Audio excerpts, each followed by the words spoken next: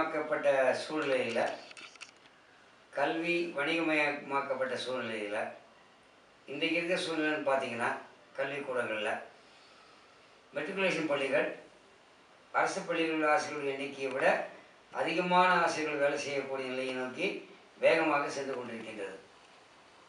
மாணவர்கள் எண்ணிக்கையை பார்த்தாலும் மெட்ரிகுலேஷன் பள்ளிகளில் அதிகமாகிட்டே போகுது. அரசு பள்ளிகளை விட. கல்லூரி என்று பார்த்தாலும் சுயநிதி பொறியியல் கல்லூரிகள் ஐநூறுக்கு கிட்டத்தட்ட கல்லூரிகள் வந்துவிட்டன. சுயநிதி கலை அறிவியல் கல்லூரிகளும் இருக்கின்றன. இங்கே பல்லாயிரக்கணக்கில் ஆசிரியர்கள் பணியாற்றி கொண்டிருக்கின்றார்கள்.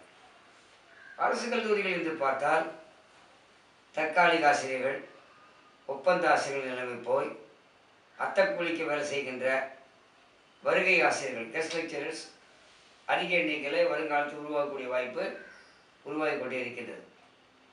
அரசினுடைய போக்கே புதிய கொள்ள- பின்னால் நிறுவனப்படுத்தப்பட்ட தன்னுடைய கைவசம் இருக்கிற நிறுவனங்களில் எல்லாம் கடைநிலை ஊழியர்களை நியமிக்காமல் இருப்பது காவலாளிகள் அல்லது துப்புரவு தொழிலாளிகள் போன்றவற்றை அடியோடு அவுட் சோர்சிங் பண்ணுவது வெளியாருக்கு தாரை வார்த்து விடுவது. இவங்க தான் போராடக்கூடிய சக்திகள் ஆசிரியரையோ மருத்துவ மருத்துவரை ஒப்பிட்டு பார்க்கும்போது கடல்நிலை ஊழியருக்கு இருக்கக்கூடிய ஒரு போராட்ட குணம் ஆசிரியருக்கோ மருத்துவ ஊழியருக்கோ இருக்குமா என்பதெல்லாம் மருத்துவருக்கோ இருக்குமா என்பதெல்லாம் எண்பதுகளில் எழுபதுகளில் பார்த்தீர்கள் என்றால் ஜாக்டோ ஜியோ போராட்டத்தின் போது. மருத்துவர்கள் உட்பட ஆசிரியர்கள் உட்பட அரசு ஊழியர்கள் உட்பட இறங்கி களத்தில் இறங்கிய காலங்களெல்லாம் இருந்திருக்கின்றன. இவ்வாறெல்லாம் சாத்தியமானது. ஆனால் அதற்கு பின்னால் வந்த காலகட்டங்களில் இவ்வாறு தற்காலிகமாக பணியாற்றுவதையோ இல்லது அத்தக்கூலிக்கு வேலை செய்வதையோ அவுட்சோர்சிங் செய்வதையோ ஏன் இந்த ஆர்கனைஸ் செய்யப்பட்ட சங்கங்களால் சந்தித்து தடுத்து நிறுத்த முடியவில்லை என்ற கேள்விக்குறி எனக்குள்ளே எழுகின்றது. அப்போ உலகமயமாக்கப்பட்ட சூழ்நிலையில் மன்மோகன் சிங் நிதியமைச்சராக இருந்தபோது எல்பிஜி வந்தபோது நாமெல்லாம் குரல் கொடுத்தோம். தனியார் மயம் தாராளமயம் என்பதை பற்றி எல்லாம் எதிர்க்க வேண்டும் என்று குரல் கொடுத்தோம். இந்த கோஷங்கள் எல்லாம் அந்த தொழிற்சங்க தலைவர்களாக இருந்த எங்களுக்கு மட்டுமே இருந்தனவா? அடிமட்டம் வரை கடலில் ஒளிவரைக்கும் சென்றதா? மக்களிடம் இருந்து நாம் எவ்வாறு அந்நியப்பட்டிருக்கின்றோம் என்பதை பற்றியெல்லாம் நாம் யோசித்து முடிவெடுக்க வேண்டிய சூழ்நிலையில் இருந்து தள்ளப்பட்டிருக்கின்றோம். இன்று பன்னாட்டு நிறுவனங்கள் பணியாற்றுகின்ற ஐடி ஊழியர்களுக்கு அவன் பிஇ படிச்சிருக்கான் எம்பிஏ படிச்சிருக்கான் இன்றைக்கி நாற்பத்தஞ்சாயிரம் ஐம்பதாயிரம் மாதத்துக்கு சம்பளம் வாங்கலாம். ஆனால் அங்கே அமெரிக்காவில் பிரச்சனை என்றால் ஐரோப்பிய யூனியனில் பிரச்சனை என்றால் உலகளவில் பொருளாதார சிக்கல் என்றால் இவர்களுடைய வேலை என்று என்பது என்று வேண்டுமானாலும் கேள்விக்குறியாகக்கூடிய சூழ்நிலை இன்று நிலவுகிறது என்பதை அந்த இளைஞர்கள் நினைத்து பார்க்கிறார்கள் என்றால் ஒரு கம்பெனி விட்டு ஒரு கம்பெனிக்கு தாவுவது தங்களால் முடியும் என்ற நிலையில் இருக்கின்றார்களா என்பதை நாம் கணக்கெடுத்துக் கொள்ள வேண்டியிருக்கின்றது. இதே நேரத்தில் நோக்கியா தொழிற்சாலை உள்ள ஊழியர்கள் மைக்ரோசாஃப்ட் அந்த நிறுவனத்தை வாங்காத போது நலிவடையும் என்று எதிர்பார்த்தோம் முழுவதுமாக ஊழியர்கள் வெளியே நீக்கப்பட்டு ஆலை மூடப்பட்டு விட்டது தற்பொழுது மற்றொரு ஆலையில் ஆயிரத்தி இருநூறுக்கு பேருக்கு மேல் வேலை இழக்கப் போகின்றார். உதிரி பாகங்கள் உதிரி தொழில்நுட்பம் சார்ந்த ஒரு தொழில்துறை. பாக்சான் என்ற தொழில் நிறுவனத்தில் நடக்கின்ற போராட்டம். ஆனால் இவ்வாறு பிரச்சனை வரும்போதெல்லாம் சென்னையில் உள்ள தொழிற்சங்கங்கள் அனைத்தும் ஒருங்கிணைந்து பந்த் நடத்துவதோ அதற்கான எதிராக ஒரு பேரணி நடத்துவதோ சென்னையை குலுக்குகின்ற பேரணி நடத்தியதெல்லாம் வரலாறாக மட்டுமே ஆகிவிட்டதா என்பதை நாம் யோசிக்க வேண்டியிருக்கின்றது. சுயநிதி கல்லூரியை பொறுத்தவரை ஆசிரியர்கள் ஊழியர்கள் யாருக்குமே எந்த விதமான பாதுகாப்பும் இல்லை. தொழிற்சங்கங்கள் அங்கே தொழிற்சங்கத்தை கட்ட முடியுமா என்பதும் மிக ஆபத்தான விஷயமாக ஆசிரியர்களும் ஊழியர்களும் பார்க்கின்றார்கள் எழுபது எழுபத்தி ஏழுக்கு முன்னால் மேல நீலநல்லூர் கல்லூரியில் ஆசிரியர் சங்கம் அமைப்பது என்பது மிகப்பெரிய சவாலாக இருந்தது. அங்கே பணியாற்றிய ஆசைகளை ஒருங்கிணைத்து சங்கத்தை கட்ட வைத்ததும் அந்த சங்கத்திற்கு உள்ள ஆசைகளை வைத்து போராட வைத்ததும் மூட்டாவுடைய பங்கு பெரும் பங்காக இருந்தது. அந்த மூட்டாவுடைய தலைவராக இருந்த பார்த்தசாரதி ராஜு பி. கே. ராஜன் பொதுச் செயலராக இருந்த வில்லியம்ஸ் பொன்துராஜ் ஃப்ரெட்ரிக் ஜெயபிரகாஷ் போன்ற தோழர்கள் எல்லாம் எனக்கு நினைவுக்கு வருகின்றார்கள் மிக சவாலான விஷயம். அங்கே சங்கம் கட்டப்பட்டது. பணி பாதுகாப்பு என்பது தனியார் கல்வி ஆசிரியர்களுக்கு அப்பொழுது கிடையாது. அது உதவி பெறும் கல்லூரி சுயநிதி கல்லூரி அல்ல. ஆனால் அங்கே ஆகட்டும் அதிராமப்பட்டம் அதிராமப்பட்டத்தில் உள்ள ஒரு உதவி பெறும் கல்லூரி ஆகட்டும் ஆசிரியர்கள் மறைமுகமாக சந்தித்து சங்கத்தை கட்டமைத்து போராடியதெல்லாம் வரலாறாக இருந்தது. ஐயனார் ஜானகி அம்மாள் என்ற ஒரு கல்லூரியில் பணியாற்றிய ஜெகதீசன் என்ற பேராசிரியர் எதற்காக பணி நீக்கம் செய்யப்பட்டார்? பக்கத்தில் உள்ள தேட்டருக்கு இரவு நேரத்தில் படம் பார்க்க போகிறார் என்ன தெரியுமா அவருக்கு மெமோ அனுமதி இல்லாமல் நீங்கள் கல்லூரியை விட்டு வேறு ஒரு இடத்துக்கு சென்றீர்கள் என்று மெமோ கொடுத்து அவரை வேலை நீக்கம் செய்தது தனியார் நிர்வாகம். இளையான்குடி ஜாகிர் ஹுசேன் கல்லூரியில் சம்சுதீன் பாமணி தாமோதரன் உட்பட ஆசிரியர்கள் பணி நீக்கம் செய்யப்பட்டார்கள் திருப்பத்தூரில் அப்சா கல்லூரியில் அப்துல் சஃபார் என்பவர் பணி நீக்கம் செய்யப்பட்டார். இவற்றையெல்லாம் எதிர்த்து மிக கடுமையாக போராட்டம் நடத்தப்பட்டுள்ளது. பல்கலைக்கழக ஆசிரியர் சங்கம் எடுத்துக்கொண்டாலும் ஈரோடு சிக்கைய நாயக்கர் கல்லூரி போன்ற கல்லூரிகளிலும் நடத்தப்பட்ட எஸ்ஐவிஐடி கல்லூரியிலும் ஏற்பட்ட பிரச்சனைகளுக்கெல்லாம் பல்கழக ஆசிரியர் சங்கம் குரல் கொடுத்து கடுமையாக போராடியுள்ளது எனவே இந்த பல்கழக ஆசிரியர் சங்கம் மூட்டாவும் கடந்த காலங்களில் செய்த போராட்டங்கள் விளைவாகத்தான் சங்கம் கட்டமைப்பின் விளைவாகத்தான் சில நேரங்களில் மறைமுகமாக சங்கத்தை கட்டி பின்னர் வெளிப்படையாக இயங்க வைத்த காரணத்தினாலே தான் அங்கே இருக்கின்ற நிரந்தர ஆசிரியர்கள் இன்று உதவி பெறும் கல்லூரி ஆசிரியர்கள் அரசாங்கத்திலிருந்து சம்பளம் பெற முடிகின்றது. அரசாங்க ஊழியர்களுக்குள்ள அனைத்து சலுகையும் அவர்கள் பெறுகின்றார்கள். ஆனால் பல்லாயிரக்கணக்கில் இந்த சுயநிதி கல்லூரி ஆசிரியர்கள் பணியாற்றும் போது அங்கே கல்வி ஒரு கொள்ளையர்களால் நடத்தப்படும் போது மெட்ரிகுலேஷன் பள்ளியில் கல்வி கொள்ளையடிக்கும் பொழுது அங்கே பணியாற்றும் ஆசிரியர்களுக்கு ஐயாயிரம் ஆறாயிரம் என்று ஊதியம் கொடுக்கப்படும் போது அவர்களுக்கு இஎஸ்ஐ போன்ற சலுகையெல்லாம் கொடுக்க முறையாக வருகிறதா என்பதெல்லாம் நமக்கு தெரியாது. தனியார் பள்ளி ஆசிரியர் சங்கத்தை கட்டமைத்து தனராஜ் திருமலை ஈஸ்வரன் போன்ற தோழர்களெல்லாம் நடத்திய போது ஸ்ரீரங்கன் என்ற தோழர் ஆசாதி மெமோரியல் பள்ளியில் பணியாற்றிய போது அந்த கல்லூரி நிர்வாகத்தை எதிர்த்து மிக கடுமையான போராட்டமெல்லாம் நடத்தப்பட்டது இங்கே ஞாபகத்துக்கு வருகின்றது. அங்கே பல ஆசிரியர்கள் பாதிப்புக்கு உள்ளான போது தனியார் பள்ளி ஆசிரியர் சங்கம் தட்டி கேட்டது. போராட்டம் நடத்தியது. இதைப் போலவே தியாகராயர் கல்லூரி நிர்வாகத்தைச் சேர்ந்த ராமக்கண்ணன் என்ற நிர்வாகி அட்டகாசம் செய்தபோது தனியார் பள்ளி ஆசிரியர் சங்கம் கேள்விகளை கேட்டது. இவையெல்லாம் கடந்த கால வரலாறுகள். இதன் மூலமெல்லாம் தனியார் பள்ளி ஆசிரியர்களும் பயன்களை பெற்றார்கள். உதவி பெறும் பள்ளிகளும் அப்பொழுது அரசு ஊழியருக்கான சலுகைகள் எல்லாம் பெற முடிந்ததற்கு காரணம் இத்தகைய ஒரு போராட்ட வரலாறு. ஆனால் இந்த மெயின் ஸ்ட்ரீம் நிரந்தரமான அரசு கல்லூரி ஆசிரியர்கள் நிரந்தரப்படுத்தப்பட்ட தனியார் கல்லூரி ஆசிரியர்கள் இவர்களை இவருடைய எண்ணிக்கையை தூக்கி சாப்பிடுகின்ற அளவிற்கு இன்றைய காலகட்டத்தில் சுயதி கல்லூரி ஆசிரியர்களை ஒருங்கிணைத்து சங்கம் கட்டப்பட்டிருக்கிறதா என்றால் சத்யபாமா கல்லூரியில் புதிய ஜனநாயக தொழிலாளர் முன்னணி அங்கே இருக்கின்ற ஓட்டுநர்களுக்காக ஒரு சங்கம் வைத்துள்ளார். சங்கத்தை இவ்வாறு கட்டும்போது ஏற்பட்ட ஒரு அனுபவத்தை நான் இங்கே பகிர்ந்து கொள்ள விரும்புகிறேன். சட்டக்கல்லூரியில் ஆசிரியர்கள் எல்லாம் தற்காலிகமாக பணியாற்றி கொண்டிருந்த நேரம் மாஸ்டர் சங்கரன் என்பவர் அப்பொழுது இயக்குனராக இருக்கின்றார். சட்டக்கல்வித்துறைக்கு கல்லூரி முதல்வராகவோ இருந்தார். எனக்கு சரியாக. பின்னர் இயக்குனராகவும் அவர் வருகின்றார். அந்த நேரத்தில் கல்வி அமைச்சராக இருந்தவர் அரங்கநாயகம். இந்த சட்டக்கல்லூரி ஆசிரியர்கள் குறிப்பாக ராபின் என்ற தோழர் பின்னர் அவர் பதிவாளராகவும் அதே கல்லூரிக்கு முதல்வராக இருந்து பதிவாளராகவும் செல்கின்றார். அம்பேத்கர் சட்ட பல்கலைக்கழகத்திற்கு. ராபின் உட்பட சில ஆசிரியர் தோழர்கள் வந்து சந்திக்கின்றார்கள் மாநில கல்லூரியில்.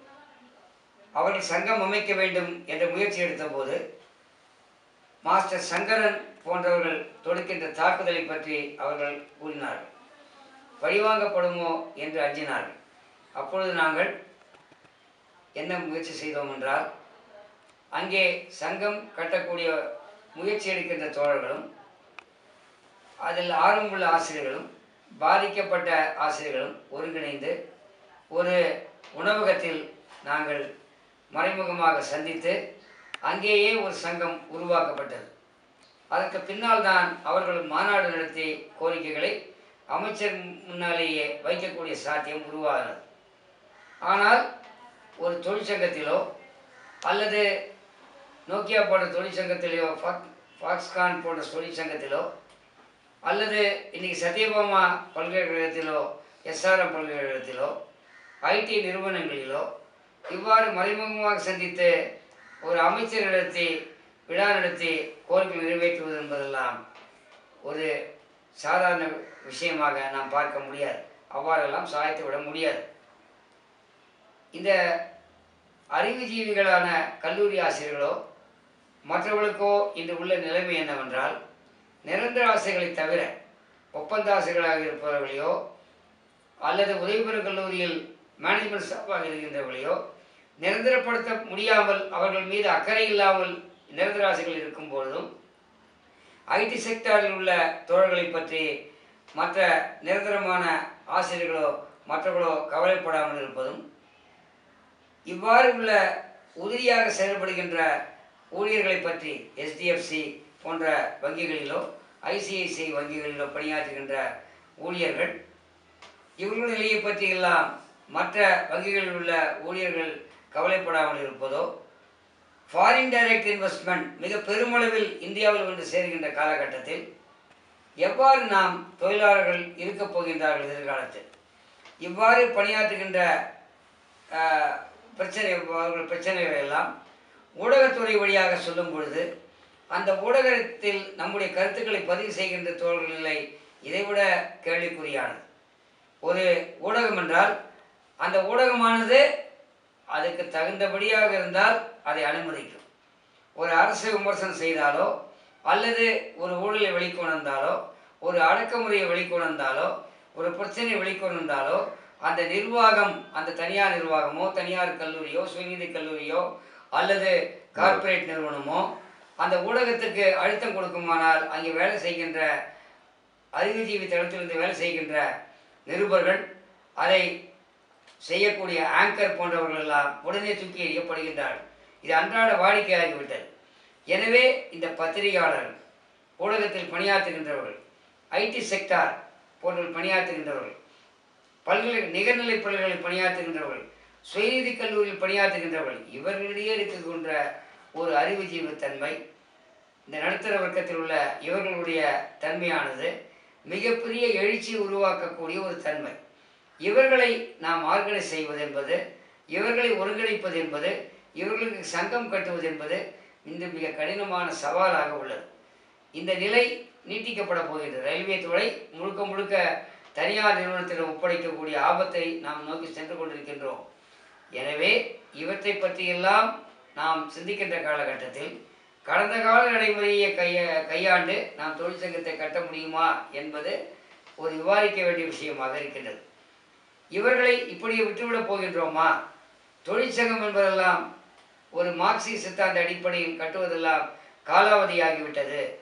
நாம் இப்பொழுது பிரச்சனைகள் எல்லாம் அப்பப்போ தனித்தனியாக பார்க்கணும். இந்த பிரச்சனைக்கு அந்த பிரச்சனையை சம்மந்தப்படுத்தி பார்க்கக்கூடாது. ஒட்டுமொத்தமாக தொழிலாளர் பிரச்சனை வர்க்கம் என்று பார்க்க முடியாது என்ற விவாதங்கள் எல்லாம் வைக்கப்படுகின்றன. சங்கங்கள் ஜாதிய ரீதியாகவும் பிரிந்து செயல்படுகின்றன. ஜாதி ரீதியான பிரச்சனைக்கு நாம் எதிரானவர்கள் அல்ல. ஜாதி ரீதியான ஒடுக்குமுறைக்கு எதிரானவர்கள். ஒடுக்கப்பட்ட மக்களின் சார்பாகத்தான் நாம் நின்று செயல்படுகின்ற அதே நேரத்தில் அதே தளத்தில் இந்த தொழிலாளர் சக்திகள் என்பது நிச்சயமாக ஒரு மாற்றத்தை கொண்டு வரக்கூடிய சக்தி. ஊடகங்கள் வாயிலாக பல்வேறு நிகழ்வுகள் அ- அர அரபு வசந்தம் என்பதை நிகழ்ந்ததையெல்லாம் நாம் பார்க்கின்றோம். அந்த அரபு வசந்தம் கையாண்ட சக்திகள் எல்லாம் பல சக்திகளும் இருக்கலாம். அந்த சக்திகளை மீறி ஊடகத்தினுடைய செயல்பாடு என்று பார்ப்போம் என்றால் ஊடகத்தில் இமெயில் வாயிலாகவும் முகநூல் வாயிலாகவும் பல்வேறு பிரச்சனைகள் இன்று ஒருங்கிணைக்கப்படுகின்றன. இவற்றை போன்ற தளங்களை எல்லாம் அறிவுஜீவிகளான இந்த கல்லூரி ஆசிரியர்களோ அந்த அறிவுஜீவி தளத்தை சார்ந்த பத்திரிகையாளர்களோ அறிவுஜீவி சார்ந்த அந்த எழுத்தாளர்களோ பயன்படுத்தி கொண்டிருக்கின்றார்கள். ஆனால் அடிப்படையான தொழில் ரீதியான ஒரு உத்தரவாதமான சம்பள பிரச்சனை என்பது கேள்விக்குறியாகும் போது அந்த பிரச்சனை என்பது ஒரு முதலாளித்துவம் சம்பந்தப்பட்ட பிரச்சனை ஒரு பொருளாதார உற்பத்தி சம்பந்தப்பட்ட பிரச்சனை. அந்த பொருளாதார உற்பத்தி சம்பந்தப்பட்ட பிரச்சனையை கார்ப்பரேட் நிறுவனம் மூலமாக ஏகாதிபத்தியமானது எவ்வாறு எளிமையாக கையாள முடியும்? அவர்கள் ஒன்று சேர்ந்து ஒரு யூரோப்பியன் யூனியன் என்றோ நேட்டோ நாடு என்றோ ஒருங்கிணைந்து இந்தியாவுடைய பொருளாதாரத்தை மாற்ற முடியும் கட்டமைக்க முடியும். ஆனால் இவர்கள் பணியாற்றுகின்ற நிறுவனத்தில் உரிமை என்பது சுத்தமாக மறுக்கப்பட போகின்றது. அதை தவிர இவ்வாறு சங்கம் அமைக்கின்றவர்கள் வேட்டையாடப்படக்கூடிய நிலையும் உருவாகியுள்ளது. இந்த சூழ்நிலையை புரிந்து கொண்டு நாம் இவற்றை கட்டமைக்க வேண்டிய அவசியத்தையும் இந்த புதிய சூழ்நிலைகளை எவ்வாறு சந்திக்கப் போகின்றோம் என்பதையும் விவாதிக்க வேண்டிய பொறுப்பானது ஏஐடியூசி சிஐடியு ஏஐசிடியு சிசிடியு அப்புறம் இது மாதிரி எம்எல் இயக்கத்தை சார்ந்த தோழர்கள் மத்தியில் மட்டுமல்லாமல் பல எம்எல் குழுக்கள் உள்ளன. இவர்கள் எல்லாம் சிந்திக்க வேண்டிய நிலையில் உள்ளது. இடதுசாரி சிந்தனை மட்டுமே இவற்றிற்கு தீர்வு காண முடியுமா? ஜனநாயக சக்தியை புறந்தள்ளிவிட்டு என்று நாம் இதை பார்க்கக்கூடாது தலைமை என்பது கட்சியின் தலைமையாக மட்டும் இருக்க வேண்டும் நாம் நினைக்கக்கூடாது இவற்றையெல்லாம் தாண்டி நாம் செயல்பட்டு ஒருங்கிணைக்க வேண்டிய பிரச்சனை இருக்கின்றது. எல்லாவற்றை விட முக்கியமாக யாருக்கு நாம் கற்பி கற்பிக்கின்றோமோ அந்த மாணவர்களிடம் சரியான ஆசிரியராக இருக்கின்றோமா? அந்த பெற்றோரை நாம் கன்வின்ஸ் செய்ய முடிகிறதா என்பது முக்கியமான விஷயம். பணியாற்றுகின்ற வளாகத்தில் லஞ்சம் வாங்காமல் செயல்படுத்தக்கூடிய வாய்ப்பை உருவாக்குகின்றோமா? தொழிற்சங்க ரீதியாக என்பது முக்கியமான விஷயம். வங்கியிலோ அரசு வங்கியிலோ பொதுத்துறை வங்கியிலோ மற்ற இடங்களிலோ சென்றால் மக்கள் தொடர்பு என்பதை எவ்வாறு வைத்துக் கொண்டிருக்கிறோம் என்பதை விவாதித்து சரி செய்யாமல் அரசுடைய இன்சூரன்ஸ் துறையானது பணியாற்றுகின்ற ஊழியர்கள் மக்களிடையே எப்படி தொடர்பு வைத்திருக்கின்றார்கள் என்பதை சரி செய்யாமல் மக்களுடைய ஆதரவு என்பது இந்த தொழிற்சங்கங்களுக்கெல்லாம் வருவதற்கு வாய்ப்பில்லை எனவே தொழிற்சங்கம் கட்டமைப்பதை பற்றி யோசிக்கின்ற அதே நேரத்தில் மக்களுடைய பிரச்சனைகளை குறித்து நாம் எவ்வாறு அணுகுகின்றோம் என்பதும் முக்கியமான விஷயம். ஆசிரியர் கல்வி என்ற விஷயம் வரும்பொழுது கல்வி வியாபாரத்தை எதிர்ப்பதும் கல்வி வணிகமாயம் அதை எடுத்து எதிர்ப்பதும் கல்வி கற்றுக் கொடுக்கின்ற ஆசிரியர்கள் மத்தியிலேயே எவ்வாறு பொறுப்புணர்ச்சி குறைந்து வருகிறது என்பதை குறித்தும் ஒரு அக்கறையோடும் கவலையோடும் விவாதித்து தொழிற்சங்க உணர்வோடு சென்றாலின்றி வெற்றி பெறுவதற்கான வாய்ப்பானது சுருங்கிவிடும். பிறகு நாமும் புறந்தள்ளப்படுவோம். நிரந்தர ஆசிரியர்களும் கேள்விக்குறியாகி தூக்கி எறியப்படுவார்கள்.